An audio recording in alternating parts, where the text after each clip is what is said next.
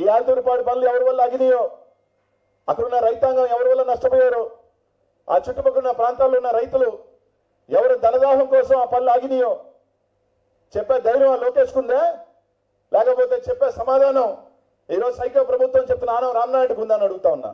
ఈరోజు నోరుందని ఏ విధంగా ఈరోజు సోమశిల కండ్లేరిని నువ్వు పగలగొట్టి చేస్తున్నాను దాంట్లో సబ్బర్కి అడగలే నువ్వు? రామ్నాయుడు గారు సబ్బర్ అడగలేదని చెప్పమను?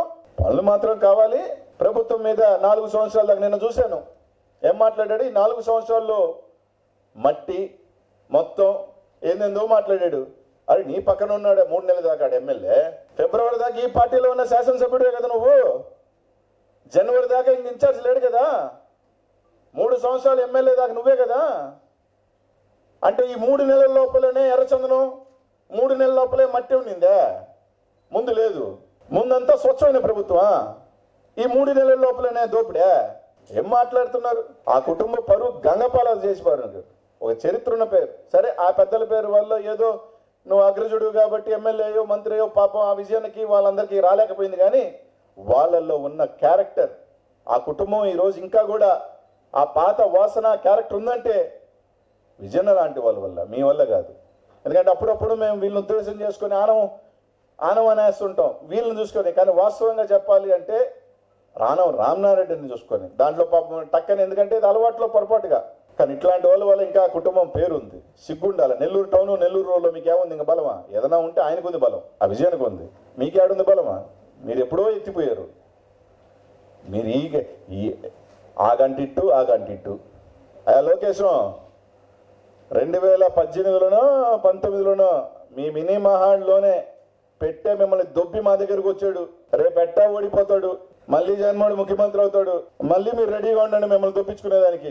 ఈడ ఒక చేతగానోడు ఈ లోకేష్ ఒక వేస్ట్ ఈడ కన్నం ఈడ పనికిరానోడు ఈడికి నోరు సరిగ్గా పలకదు అని మనల్ని రెడీగా తిట్టించుకుందానికి సిద్ధంగా ఉండే లోకేశం మనోడే రేపు నీకు వేసేది. జగన్మోహన్ రెడ్డి వల్ల పునర్జీవం వచ్చింది లేకపోతే ఎత్తిపోయింటావు. పోయినసారి కానీ ఓడిపోయిన ఉంటే ఆ పార్టీలో ఉండి ఆడితో క్లోజ్ నువ్వు. జగన్మోహన్ రెడ్డి ఆశీస్సుల వల్ల ఆయన చెప్తున్నాడు ఇప్పుడు దాకా అది వెంకటగిరి నియోజకవర్గం తెలుగుదేశం పార్టీ అంతకుముందు రాజలక్ష్మి గారు గెలుచున్నారు ఆడ. అది మర్చిపోయినట్టున్నాడు. రాజలక్ష్మి గారు కూడా గెలుచున్నారు వెంకటగిరి నియోజకవర్గంలో. ఈయన వచ్చిన వల్ల ఏదో వెంకటగిరి తిరగబడిపోయినట్టంట. ఈయన లేకపోయింటే మళ్ళీ తెలుగుదేశం వచ్చినట్ట. నిన్నో మొన్న చూసా. జగన్మోహన్ రెడ్డి అది ఒక ఉప్పిన వేవ్. నెల్లూరు జిల్లా ఎప్పుడో జగన్మోహన్ రెడ్డి గారికి అడ్డా. అట్లాంటి ఈ అడ్డాలో నువ్వెంత చెప్తున్నావుగా? రేపు దమ్ముంటే చెప్తున్నాగా చంద్రబాబు నాయుడు నేను ఎక్కడ పోటీ చేసినా గెలుస్తాను నేను ఏడ పోటీ చేసిన వరకు నువ్వు ఏడ పోటీ చేసినా డిపాజిట్ తొలిపోతావు అది ఆత్మగురులై వెంకటగిరి చేయి. లేదా హెడ్ క్వార్టర్ నెల్లూరు నగరానికన్నా రా. నీ ఓటమి తథ్యం. కాబట్టి ఈసారి మాట్లాడేటప్పుడు ఎట్లా మాట్లాడాలో పెద్దోళ్ళవి వయసు పెరిగిపోయింది. జాగ్రత్తగా మాట్లాడమని తెలియజేస్తా ఉన్నాం. ఇప్పుడు పది మంది ఎమ్మెల్యేలు ముగ్గురు పోతే ఖాళీ అయిపోయినట్టు. ఏడు మంది ఉన్నాం కదా. రా- ఆయన పోతే అందరూ పోయినట్టా? కొంత పరకలు కలుపు మొక్కలు ఉంటారనమాట పొలంలో అక్కడక్కడ కలుపు ఉంటుంది. ఆ కలుపు వాళ్ళు పోలే మేము పెరిగేసాం అర్థమైందా? సిగ్గు లేకుండా ఏడుండి అడ్డు చేస్తుంటే పెరిగి పారేసాం అంతే. ఆ కలుపుని.